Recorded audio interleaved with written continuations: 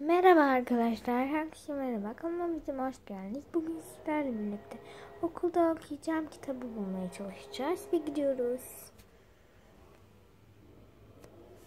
İşte gördüğünüz gibi kitaplarım var. Ama hepsi Almanca çünkü Almanya'da yaşıyorum. Hadi aramaya başlayalım. İlk önce düzenlememiz gerek. Düzenliyoruz. Evet, gördüğünüz gibi düzenledim. Şimdi bunlardan birlikte seçelim. Gördüğünüz gibi. Tamam. Bu kitap aa, Türkçeymiş. Ama okuyamayız. Gidiyor. Oh. Evet. Hmm. Belki bunu okuyabiliriz. Bu güzel bir kitaptı ve bir yarısını okudum. Onu koyalım.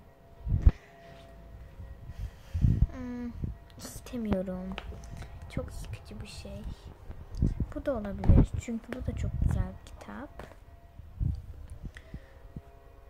Hmm, o da hiç okumadığım bir kitap. Türkçe bir kitap ve Allah hiç kimse izlemez. Hmm, bu da çok korkunç gibi. Bu da Türkçe. Kardeşimin mi ya? Hmm. Bu da olabilir aslında ama geçen gün onu okumuştum. Yo. Şu da olabilir. Bunu da bir kere okudum ve 9 yaş için olması gerek. Bu da 4 yaş için. Da çok büyük bir masal. Hiç kullanılmıyor. Tamam şimdi on, aldıklarımızı geçiyoruz. Evet bulduklarım şunlar.